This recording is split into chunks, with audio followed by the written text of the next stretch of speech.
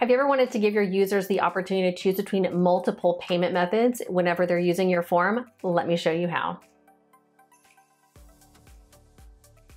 Hey everyone, welcome to JotForm. I'm Kimberly, and for this example, we are going to need to create three different forms. The first form is going to house everything. We need to create one form for PayPal, and then our third form is going to be a purchase order. So let's go ahead and create that very first form. I'm gonna come to the top left, the orange button, create a form. I'm gonna start from scratch and use the classic form. Now for this, I'm gonna go to the left-hand side, the form element, and I am going to choose the single choice option, and this is going to be my payment options, and we're gonna give them to PayPal and purchase order.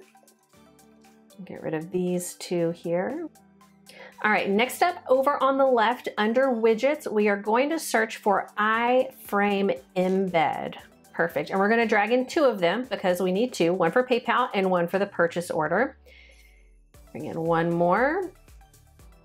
And so you'll see it looks like nothing is there, but we're going to come back to this later. Now, one other thing I do want to mention is you can see that we did not put in a name, email address, any of that information in this form. That's because we do not want them to submit this specific form. So one thing I'm going to do is come down to the bottom and I am going to remove the submit button because we want them to finalize and check out either on PayPal or with that purchase order.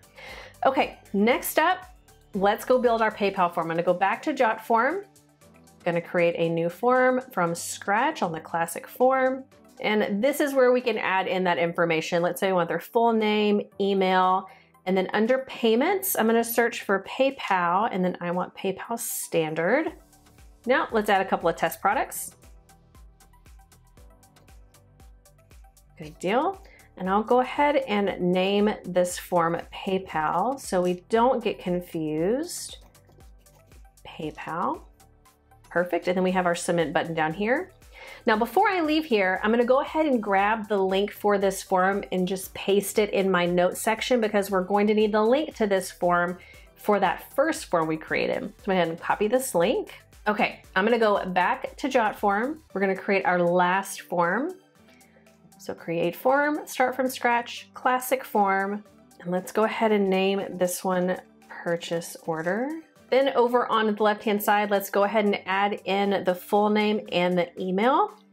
Then under payments, we're going to have purchase order. It's gonna be very similar to PayPal. Good deal. All right, I'm gonna go up to publish, gonna grab this link. All right, so now let's go back to that original form that we started that had the two payment options.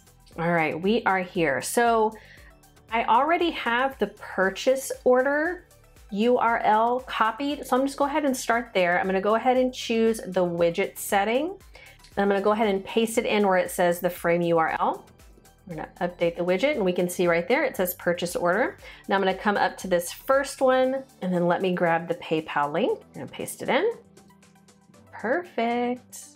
All right, now it's time for the fun stuff. Now we're going to use the conditional logic to show and hide these fields. So I'm gonna go up to settings, then on the left-hand side where it says conditions, first option, show hide field. So it's really just an if this, then that type of a thought process. So if the payment options is equal to PayPal, then we want to show that first one, which was PayPal. So I'm gonna go ahead and save. Let's add one more, show hide field. If the payment options is equal to purchase order, then we want to show the second one, purchase order, save.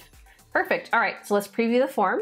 Looking good so far. Let's go ahead and choose PayPal. And there we go the form pops up within this other form. So now we have the first name, last name, we have the email, they get to choose the products, and then we have the submit button within that specific form, not in our overall form. Same thing, let's choose purchase order. And there it is. So very, very simple to do. So if you have any questions about utilizing this for your users, please let us know and I'll see you next time.